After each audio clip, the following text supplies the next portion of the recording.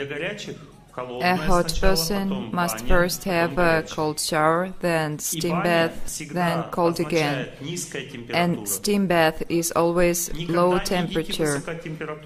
Don't go into high temperature steam baths.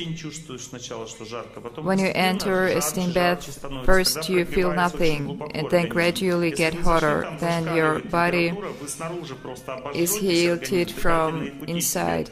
But if you go inside and it is extremely only how to burn your airways, but really your body is not heated properly.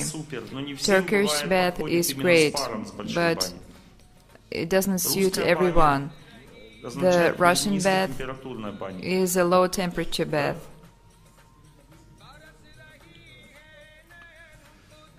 I'm afraid I may be wrong, but it is about 55, 60 degrees Celsius, but not 70, 80, 90 or 100 degrees. That's too much.